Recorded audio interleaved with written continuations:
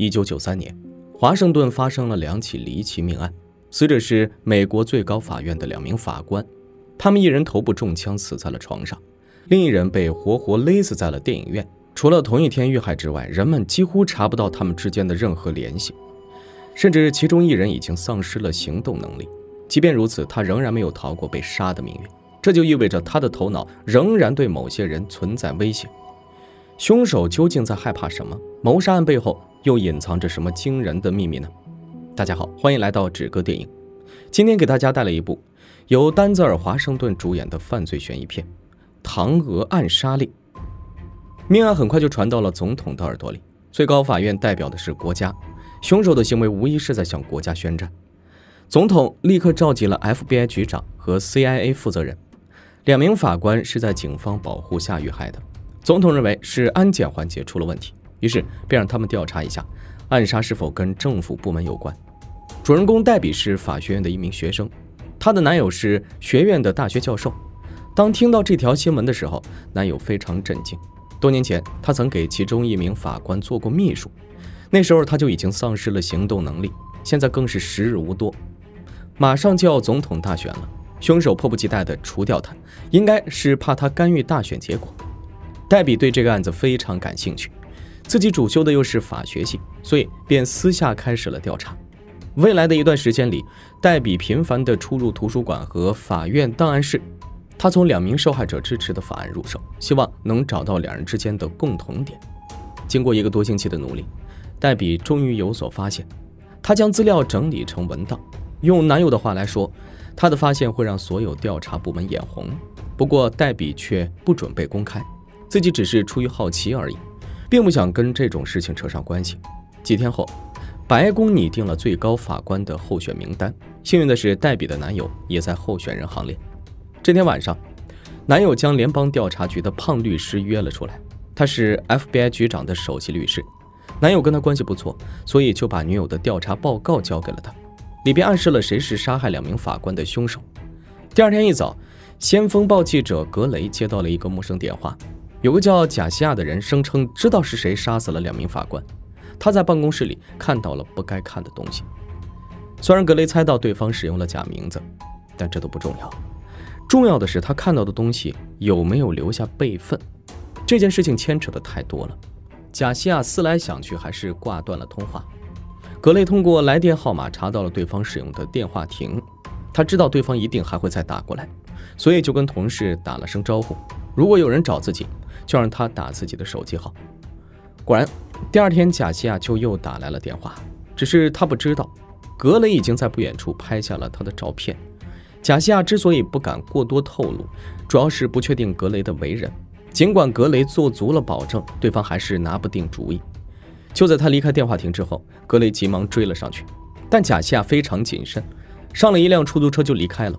另一边，CIA 局长将一份调查报告递交给了总统秘书，这是黛比的男友交给胖律师的。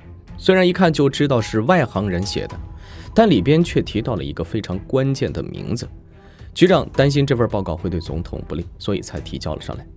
晚上，黛比跟男友来餐厅吃饭，因为男友喝了酒，黛比便提议送他回去。不过，男友却坚持自己开车。然而，他刚转动钥匙，汽车就发生了爆炸。好在黛比没有搭乘他的车子。突如其来的变故对黛比打击非常大，但现在不是伤心的时候。车子不会无缘无故爆炸，一定有人在里面安装了炸弹。两天前，男友将调查报告交给了律师好友。难道是这份报告触碰到了某些人的利益，所以才会遭到灭口吗？回家之后，黛比给胖律师打去电话。男友被炸死，自己大概率也在被追杀。他想知道都有谁看过那份报告。胖律师表示，局长将报告提交给了白宫，这份报告已经流出 FBI 了。究竟是谁暗杀了男友，他也说不好。另一边，总统找来了 FBI 局长，他们派出了十几名探员去验证调查报告的真实性。总统觉得他们有点大动干戈，万一被媒体得到风声，将会对自己的选举非常不利。局长意味深长地笑了笑，他的意思是让自己停止调查吗？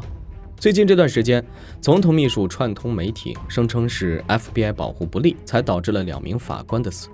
其实局长并不在乎谁是凶手，只要秘书不再搞他，自己就愿意放弃调查。总统会心一笑，两人的意见暂时达成了一致。晚上，黛比回到了住处，不过他刚进电梯就察觉到有人在盯着自己。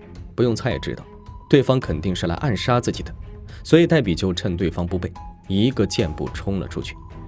对方自然不会轻易放弃，好在有人群作为掩护，黛比才成功逃脱。在另一家酒店安顿下来之后，黛比又给胖律师打去电话，询问他有没有跟 FBI 局长谈话，那份报告究竟泄露到了哪里。胖律师表示，明天晚上有个告别仪式，自己到时候会跟他聊这个问题。多耽搁一天就多一天危险。黛比不想把希望都寄托在一个人身上，所以她要给格雷打去电话。两人并不认识，黛比只是听男友说过，她很欣赏格雷这个人。黛比一五一十地说出了事情经过，自己整理了一份档案，里边暗示了谁是杀害两名法官的凶手。男友将这份档案交给了 FBI 的一个朋友，但是却走漏了风声，最终导致男友被炸死。黛比打了电话是想让格雷帮忙弄到一份总统竞选捐款人名单。对于媒体工作者来说，弄到这份名单不算什么难事，但问题是自己为什么要相信一个陌生人？黛比表示，因为那份档案就是自己写的，他知道谁是杀人凶手。如果格雷想得到这条新闻，就只能相信自己。说着就挂断了电话。黛比以为自己的行踪已经非常隐蔽了，殊不知他的一举一动全都在 CIA 的监视之下。只不过 CIA 的目标不是杀死他，而是通过他弄清楚一切的真相。晚上，黛比把闺蜜约了出来，她想让闺蜜去参加男友的追悼会，然后放话说黛比去丹佛的姑妈家了，杀手明天肯定会去抓人。她这么做就是为了混淆视听。为了这次见面，黛比故意打扮得很朴素，但即便如此，还是吸引了一名男子的注意。他非常高调地向黛比示好，甚至在大街上唱起了情歌。然而，正是这个举动引起了杀手的注意，他疯狂地向黛比冲过来。好在有热心人帮黛比打掩护，才让他又逃过了一劫。接二连三的失利让金主非常不满，于是他们便调用了一名职业杀手，让他去执行暗杀任务。当天晚上，黛比再次给胖律师打去电话。他本就不想卷入这场纷争，比起让凶手伏法，他更想要活命。胖律师非常理解黛比的处境，所以他刚刚找来三名 FBI 的朋友，明天就可以送他出城。胖律师虽然是男友的朋友，但是跟黛比却并未见过面。为了更快找到对方，黛比让他穿长衬衫，戴个红帽子来河边的月台找自己。挂断电话之后，胖律师就去洗澡了。然而他刚回到床上，就被藏在柜子里的杀手一枪打死了。紧接着，杀手从桌子下面拿出监听器，两人的约定也全都被他听到了。转眼到了见面的时间，杀手按照对方的要求。穿上长衬衫，戴着红帽子就去赴约了。黛比很快就发现了他，在确定了对方的身份之后，便想找个安全的地方落脚。就在黛比放松警惕的时候，杀手小心翼翼地从口袋里掏出了手枪。眼看阴谋就要得逞了，不远处突然传来一声枪响，将杀手打死了。黛比根本不知道发生了什么，吓得他头也不回的就逃走了。回到旅店之后，黛比给格雷打去电话。希望能跟他见一面。之前有个叫贾西亚的人也声称有凶手的消息，但后来就断了联络。黛比必须说出点线索，以证明他确实知道内幕。黛比说出了男友和胖律师的名字，他们都刚遇害不久。胖律师是 FBI 局长的首席律师，格雷对这个名字并不陌生。当天下午，格雷来到了黛比入住的酒店，他刚刚已经证实过了，黛比的男友确实是被炸死的，胖律师也已经遇害。尤其是后者，FBI 根本就没有公开，所以他才会相信黛比的话。格雷对调查档案的内容非常好奇，里边究竟提到了什么，才让他们招来杀身之祸呢？事已至此，黛比也不再隐瞒。一九七九年，一位石油大亨在特瑞拜地区发现了大量石油，想要开采就必须得到政府的批准。但问题就在于，石油上面是一片沼泽地，开采石油就势必会污染环境。结果就因为石油大亨是总统竞选的捐款大户，政府就批准了这条危害沼泽生态的油管。当地的环保组织对此极为不满，于是便一纸诉状将石油大亨告上了法庭。为了赢下这场官司，石油大亨不惜花费重金召集了所有一流律师，而环保组织只有两位律师在奋力抵抗，结局自然以失败告终。但幸运的是，油田中心靠近水鸟保护区，水鸟的数量因为污染问题在急剧减少，尤其是一种叫唐鹅的鸟类，甚至到了灭绝的边缘。环保组织抓住这个题材，召集全国专家作证，他们用了整整七年才重新提起诉讼。虽然陪审团为了保住饭碗，判石油大亨胜诉。但法官却认为环保组织的观点很有道理，于是便下达了开采禁令。石油大亨不服判决，就向最高法院提起诉讼，但法院判决至少需要三到五年。想要尽快赢得官司，就要除掉最高法院中有环保意识的人，否则等到白宫易主，一切就都来不及了。没错，近期遇害的两名法官就是支持环保组织的。石油大亨根本就不在乎这些人的生死。不久之前。有个叫贾西亚的人联系过格雷，声称在办公地点看到了不该看的东西。石油大亨收买过很多律师，贾西亚说不定就在其中一家律所工作。华盛顿只有两家律所被石油大亨雇佣过，只要找到贾西亚，说不定就能找到证据。格雷试图说服黛比跟自己一同前往，不过黛比却拒绝了他，自己只有二十四岁，还无法将生死置之度外。回到报社之后。格雷将自己的发现汇报给了主编，他想做一期新闻，曝光总统和石油大亨的黑料，不过主编却阻止了他。格雷根本就没有证据，贾西亚联系不上，黛比也不愿意出面作证。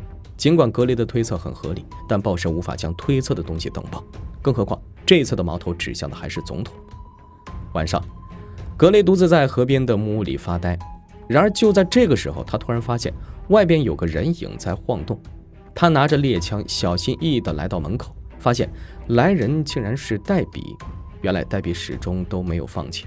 他之所以拒绝格雷，是担心两人的聊天被监听。画面来到白宫，秘书向总统汇报了一件事儿：先锋报的格雷曾不止一次向白宫内线探听唐俄档案的存在，这就说明他还对当年的案件穷追不舍。如果这件事被曝光出来，人们会怎么想？总统的最大金主杀害了两名法官，为的就是让总统提名两个更听话的候选人，以便他开采石油。不久之前，总统让 FBI 局长放弃调查。如果新闻爆出来的同时，局长在火上浇油，那么总统就很难连任了。现在唯一的解决办法就是提名两个热衷环保的法官，这样即便事情曝光出来，总统也可以撇清责任。画面一转，格雷二人也开始了他们的计划。贾西亚很可能是华盛顿两家律所其中一家的员工，而这两家律所都在乔治城法学院招募实习生。格雷曾拍到了贾西亚的照片，现在只要找到在那里实习过的学生，说不定就有人能认出他。黛比伪装成律所的人士，然后以重建薪资档案为由要来了当时的实习生名单。名单上只有五个人，经过逐一排查，其中四个人都没有见过贾西亚。最后一名叫爱德华的学生又联系不上，就在他们一筹莫展的时候，有个学生突然追上来，声称爱德华因为吸毒被父母送到了私人医院。有了这个线索，两人很快就找到了爱德华，而结果也如他们预想的那样，爱德华确实认识贾西亚，他的真名叫摩根，在九层石油天然气部门上班，这对二人来说绝对是重大发现。但他们不能泄露真实身份，所以黛比又故技重施，伪装成客户去石油天然气部门谈生意。听说他要找摩根的时候，前台先是愣了一下，然后便找来了部门负责人。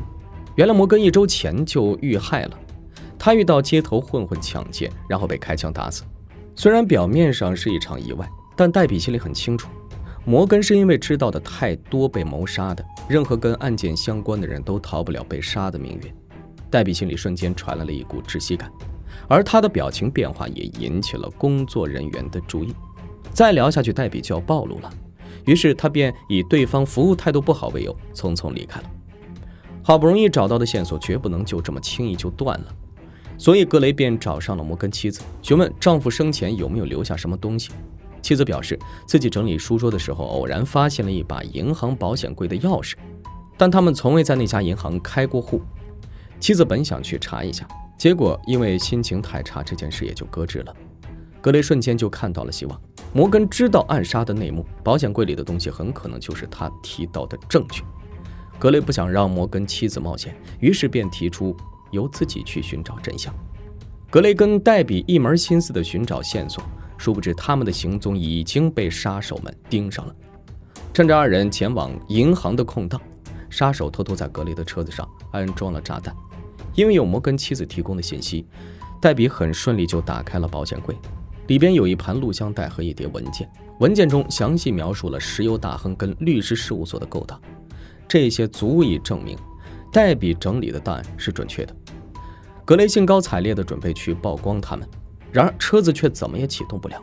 当初男友被炸死之前，车子同样遇到了无法打火的情况，想必这辆车子也被动过了手脚，所以黛比就拉着格雷汽车逃走了。证据在二人手上，杀手绝不会轻易放他们离开，于是便驾驶着车子向他们冲了过来，但因为速度过快。他一头就撞在了那辆被安装了炸弹的汽车上。回到报社之后，格雷在报社主编的陪同下观看了摩根留下的录像。原来不久之前，摩根拿错了同事的代理案件，里面有一张备忘录，上面清晰的写着：唐娥案件至少要四年才会审理完毕。如果让两位法官退休，事情将会进展得更顺利。虽然备忘录上没有注明客户的名字，但那位同事只有一个客户，就是石油大亨。后来没多久，两名法官就遇害了。摩根坚信这件事就是石油大亨干的，本以为不说出来就没事儿，但那群人似乎盯上了自己。摩根留下录像，就是为了把自己的死亡真相告诉妻子。至此，一切真相大白。格雷撰稿揭露了所有人的罪行。石油大亨写给律师的备忘录，上面明确提出要暗杀两位法官。事发后，总统又命令 FBI 局长放弃调查。这无疑将总统跟石油大亨联系到了一起。报道发出去之后，FBI 成立了大陪审团，他们会将石油大亨绳之以法。一旦对方落网，总统的连任计划也会泡汤。